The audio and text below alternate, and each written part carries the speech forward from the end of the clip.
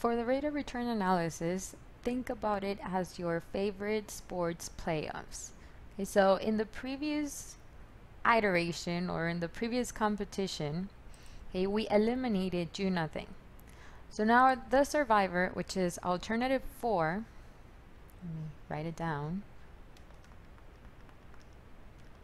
will be compared against alternative two. And we will be following exactly the same procedure. So we need to fill out our um, incremental cash flow table for these two alternatives. Alternative 4 is the one with the least investment, so it will be alternative A. And alternative 2 will be alternative B because of the higher higher investment. So we continue to have equal lives. That's a good thing. So we're going to do the short version of the table. Then again, you may refer to example 4 from chapter 6 um, if you want to go back to the procedure and the rules. So here we have year 0 and years 1 through 4. Okay, and then just note here again that this is for equal lives. Okay, and um, we copy the cash flow. So for alternative 4, we have minus 20,000. Then these are both A's, so we must put them together. Minus 21,000 plus 29,000. That's a 2. Will give us 8,000. And for alternative 2, we have minus 50,000 and then our two A's, which is minus 26,000 plus 43,000 giving us 17k. Then we get the, the difference between the two. Remember we keep this negative so we may have double negatives at some point. The first one is going to be minus 50,000 minus minus 20,000 oops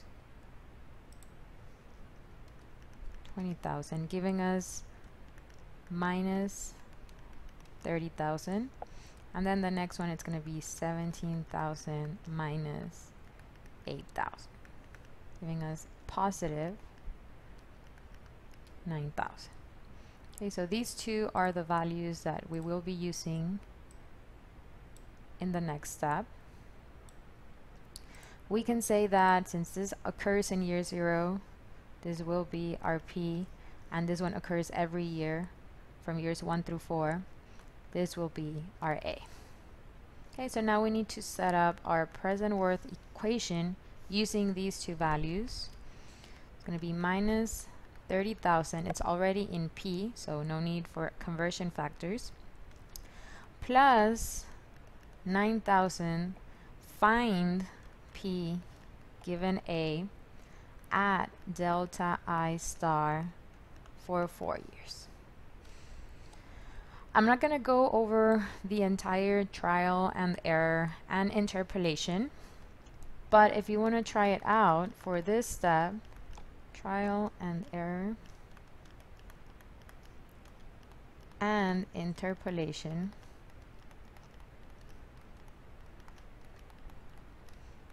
And again, for the trial and error, you may pick any numbers that you want as long as you find a positive and a negative result. Okay and you may, may go back to part one of this example uh, and to follow the formulas and everything for the interpolation. And you should find delta I star equal to 7.7 percent. Okay so this is the answer that we're looking for. And then we're going to compare this 7 0.7% to the minimum attractive rate of return that's given, which is 12% for the minimum attractive rate of return. And in this case, it is going to be less. So according to the rules, if it's less than, then we must eliminate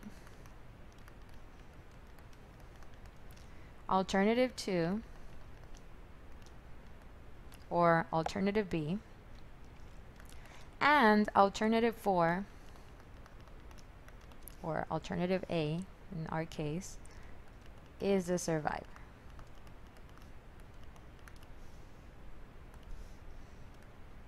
Okay, so we have eliminated another uh, alternative. So now we keep alternative 4 and we get rid of alternative 2. So this means that in our next match or in our next competition, iteration, however you want to call it, alternative 4 will now be going against alternative 1. So now let me just put right here that uh, we must compare the survivor with next alternative. Okay, which in this case would be alternative 4 against alternative 1. Okay. And let's do that real quick because it's a, a very uh, similar process. So let me just uh, copy the incremental cash flow tables.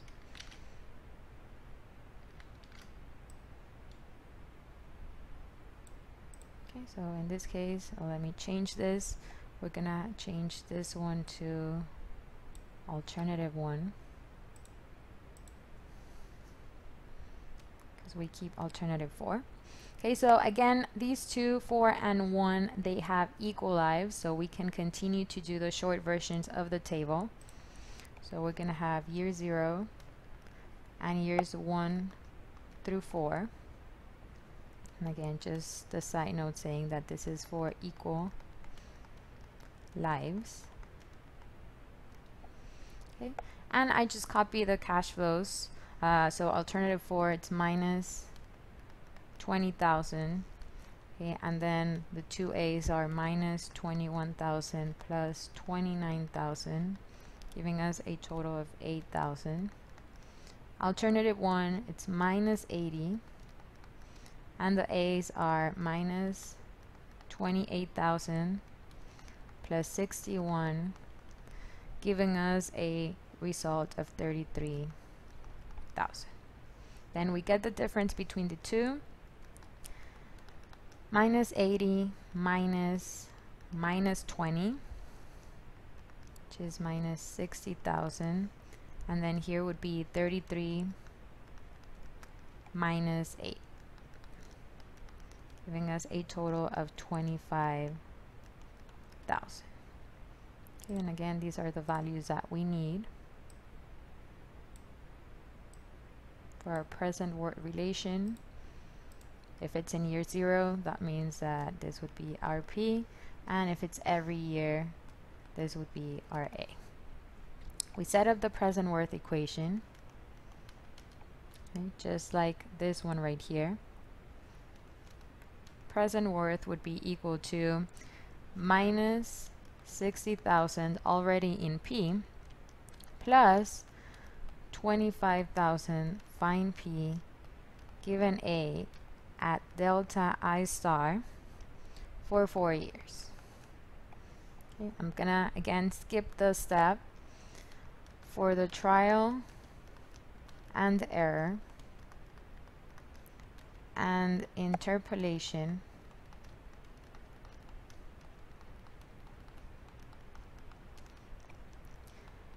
you will get 24.1 percent and again this is a value that we need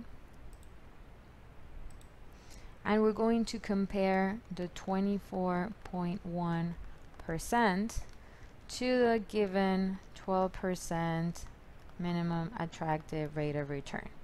And in our case, it is greater. So according to the rules, we eliminate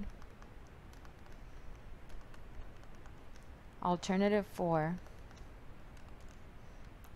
and alternative 1 will be the survivor.